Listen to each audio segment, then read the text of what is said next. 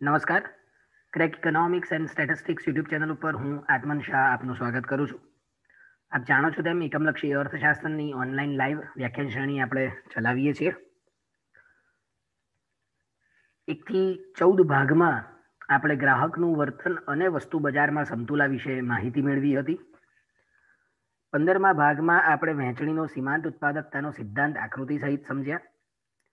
ભાગ સોળમાં આપણે રિકાર્ડોનો ભાડાનો સિદ્ધાંત કે જે તફાવતી ભાડાનો ખ્યાલ આપે છે તેની સમજૂતી મેળવી. ભાગ સત્તરમાં આપણે ભાડાનો આધુનિક સિદ્ધાંત સમજ્યા હતા.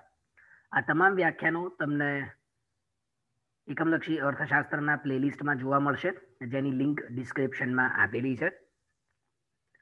આજે અઢારમા ભાગમાં આપણે આભાસી ભાડાનો અર્થ તેની આકૃતિ દ્વારા સમજૂતી મેળવીશું.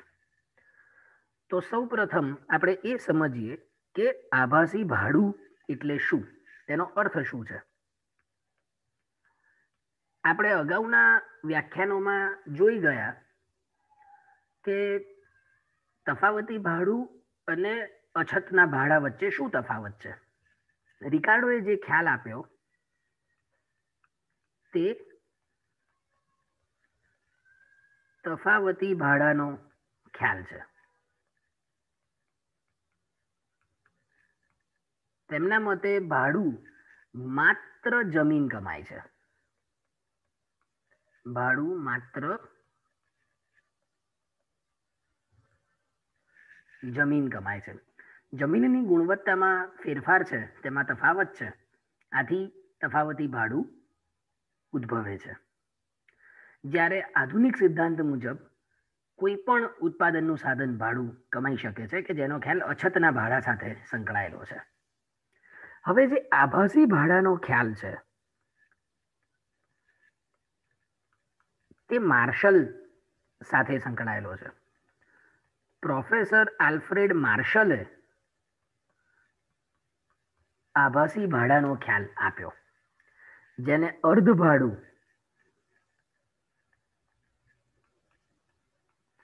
અથવા તો ભાડા જેવી આવક તરીકે પણ ઓળખવામાં આવે છે. તો માર્શલના મતે જે મૂડીગત સાધનો છે,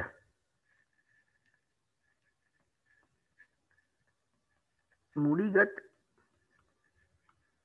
સાધનો, તે આભાસી ભાડું કમાય છે.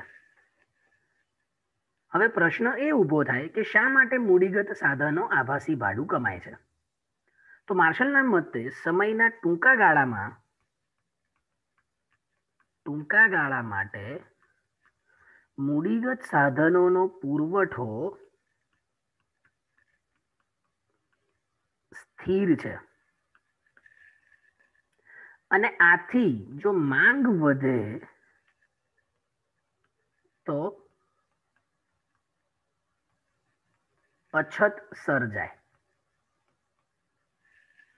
અને અછત સર્જાય આથી બદલા કમાણી કરતા વધુ આવક પ્રાપ્ત થાય. આમ મૂડીગત સાધનો સમયના ટૂંકા ગાળા માટે બદલા કમાણી કરતા જે વધુ આવક પ્રાપ્ત કરે છે તેને આભાસી ભાડા તરીકે ઓળખવામાં આવે છે. આમ આભાસી ભાડું કોણ કમાય છે? તો કે મૂડીગત સાધનો. માત્ર સમયના ટૂંકા ગાળા માટે, કારણ કે લાંબા ગાળામાં પુરવઠો આપણે વધારી શકીએ છીએ. પરંતુ સમયના ટૂંકા ગાળા માટે તેમનો પુરવઠો સ્થિર છે. આથી જો માંગ વધે, તો અછત ઊભી થાય અને અછત ઊભી થાય, આથી બદલા કમાણી કરતા વધુ આવક પ્રાપ્ત થાય છે. અને એ જે વધારાની આવક પ્રાપ્ત થાય છે તેને આભાસી ભાડું અથવા તો ભાડા જેવી આવક તરીકે ઓળખવામાં આવે છે. આપણે આકૃતિ દ્વારા આ ખ્યાલ સમજવાનો પ્રયત્ન કરીએ. તો આકૃતિમાં એક્સ અક્ષ ઉપર આપણે સાધનની માંગ અને પુરવઠો દર્શાવીશું. જ્યારે વાય અક્ષ ઉપર આપણે સાધનની કિંમત દર્શાવીશું.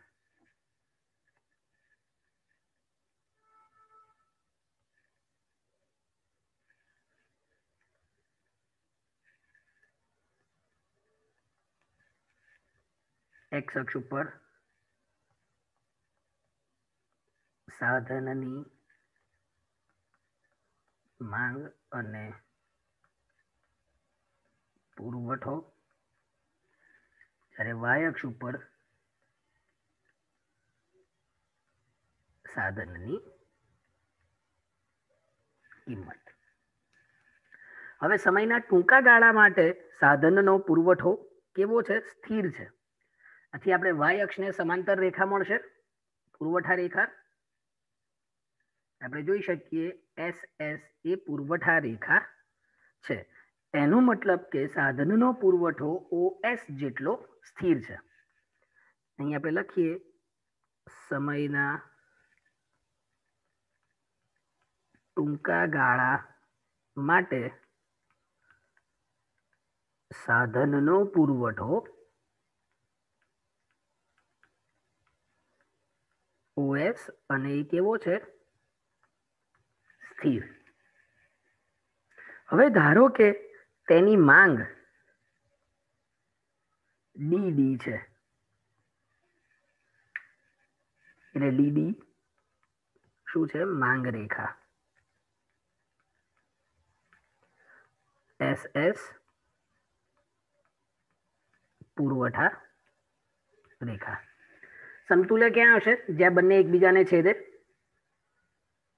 બિંદુ ઈ જ્યાં સાધનની કિંમત નક્કી થશે ઓ પી જેટલી. એટલે ઈ દર્શાવે છે સમતુલાનું બિંદુ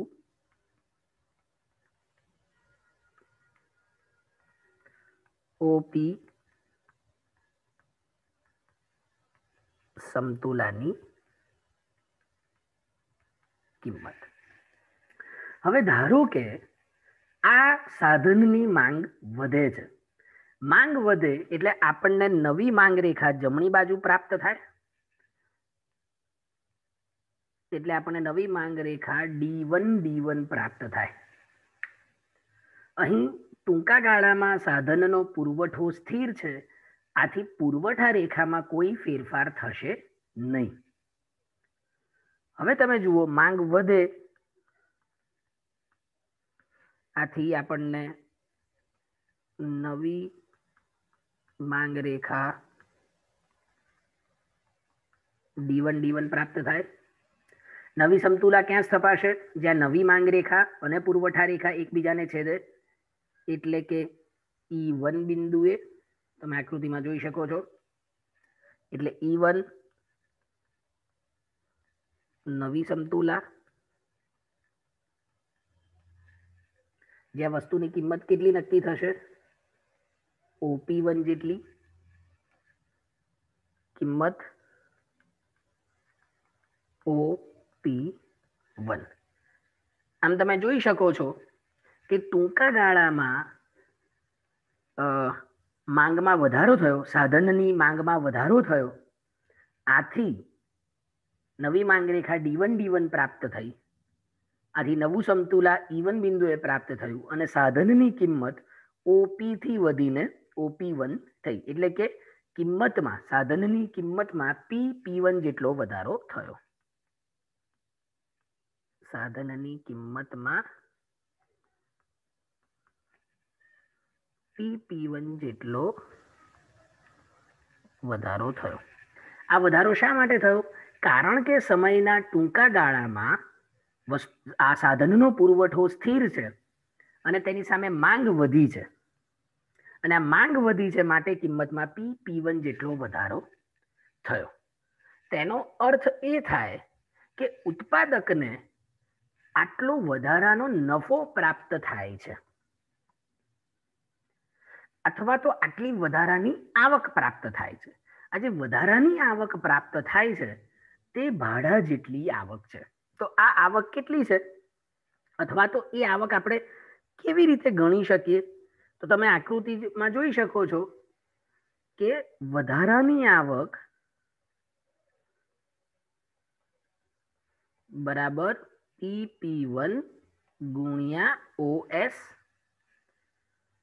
એટલે કે પી પી વન ઈ વન ઈ એટલે આપણને એ જે લંબચોરસ પ્રાપ્ત થાય છે, આ લંબચોરસ શું દર્શાવે છે?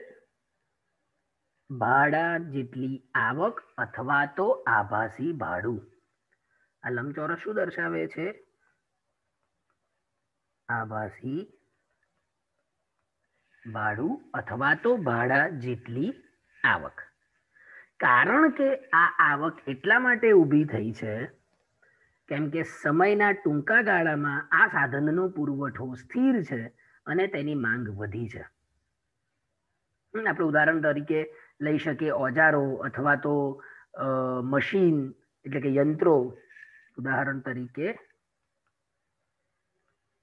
યંત્રો, ઓજારો વગેરે. ટૂંકા ગાળામાં તેનો પુરવઠો વધારી કે ઘટાડી શકાતો નથી. પરંતુ સમયના લાંબા ગાળામાં આપણે તેનો પુરવઠો વધારી શકીએ છીએ આમ સમયના લાંબા ગાળામાં જો પુરવઠો વધે તો આપણને નવી પુરવઠા રેખા એસ વન એસ વન પ્રાપ્ત થાય. તમે જોઈ શકો છો નવી પુરવઠા રેખા એસ વન એસ વન પ્રાપ્ત થાય સમયના લાંબા ગાળે. અને સમતુલા અહીં સ્થપાશે. જ્યાં બંને એકબીજાને છેદે છે. ઈ ટુ બિંદુ. તમે જુઓ આભાસી ભાડું એ લુપ્ત થઈ જાય છે. કારણ કે લાંબા ગાળે માંગ વધવાની સાથે સાથે પુરવઠામાં પણ વધારો થાય છે. એટલે એની કિંમતમાં કોઈ વધારો થતો નથી. તમે જુઓ છો, ઈ ટુ એ સમતુલા સ્થપાય છે કે જ્યાં સાધનની કિંમત ઓપી જેટલી છે. આમ સમયના ટૂંકા ગાળામાં આ જે મૂડીગત સાધનો છે, આને આપણે કેવા સાધનો કહીએ છીએ? મૂડીગત સાધનો. તેમનો પુરવઠો સ્થિર છે. આથી તે ભાડા જેવી આવક કમાય છે અથવા તો તેમને બદલા કમાણી કરતા વધુ આવક પ્રાપ્ત થાય છે, જેને ભાડા જેવી આવક અથવા તો આભાસી ભાડું કહે છે. પરંતુ સમયના લાંબા ગાળે પુરવઠો વધશે. આથી આપણે નવી પુરવઠા રેખા એસ વન એસ વન મળશે. તમે જોઈ શકો છો કે નવી પુરવઠા રેખા એસ વન એસ વન એ જૂની પુરવઠા રેખાની જમણી બાજુએ આવેલી છે. અને આથી નવું સંતુલાનું બિંદુ ઈ ટુ પ્રાપ્ત થાય. અને સમયના લાંબા ગાળે આભાસી ભાડું લુપ્ત થાય છે, અથવા તો ભાડા જેવી જે આવક છે એ નાબૂદ થાય છે. તો આમ ભાડું અને આભાસી ભાડું, આ બંને વચ્ચે શું તફાવત છે? ભાડું અને આભાસી ભાડું. આ બંને વચ્ચે શું તફાવત છે તે આપણે સમજવું પડે. આપણે જાણીએ છીએ કે ભાડું એ કાયમી આવક છે. કાયમી આવક છે. એટલે કે સમયના લાંબા ગાળે પણ આવક પ્રાપ્ત થાય છે. જ્યારે આભાસી ભાડું એ કાયમી આવક નથી. માત્ર સમયના ટૂંકા ગાળા માટે જ આભાસી ભાડું પ્રાપ્ત થાય છે. એટલે આ પ્રથમ તફાવત આપણને જોવા મળે છે. રિકાર્ડોએ જે તફાવતી ભાડાનો ખ્યાલ આપ્યો તેના મુજબ ભાડું માત્ર જમીન કમાય. જ્યારે અહીં ભાડું મૂડીગત વસ્તુઓ કમાય છે. મૂડીગત સાધનો સોરી વસ્તુઓ નહીં. મૂડીગત સાધનો કમાય છે. આમ ભાડા અને આભાસી ભાડા વચ્ચે તફાવત છે. હજુ એક મુદ્દો આપણે એ લઈ શકીએ કે ભાડું જે છે, અથવા તો જમીન જે છે, એ સમયના લાંબા ગાળે પણ, સમયના લાંબા ગાળામાં પણ તેનો પુરવઠો સ્થિર છે. જ્યારે અહીં માત્ર ટૂંકા ગાળામાં જ પુરવઠો સ્થિર છે.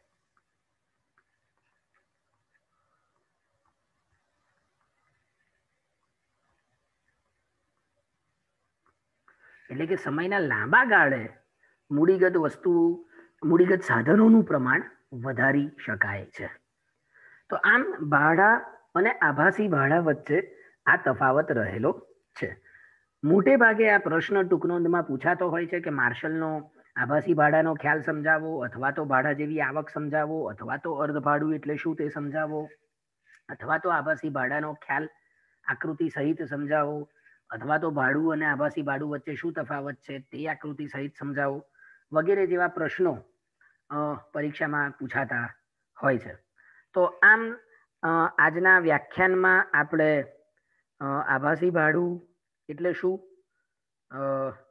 તેનો અર્થ સમજ્યા, આકૃતિ સમજી અને સમજૂતી તેની આપણે, તેના વિશે આપણે ચર્ચા કરી. જો આ વીડિયો આપને પસંદ આવ્યો હોય, તો તેને લાઇક કરશો શેર કરશો અને સબસ્ક્રાઇબ કરશો. તેમજ આપ આપણી અમારી website crack eco and dot WordPress dot com ઉપર પરીક્ષાલક્ષી ઉપયોગી ટૂંકી નોંધ પણ જોઈ શકો છો. ધન્યવાદ.